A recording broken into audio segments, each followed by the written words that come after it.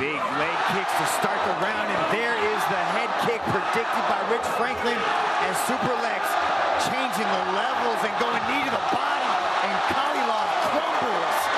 Oh, hard right from the opening bell, which he did, and not... Well,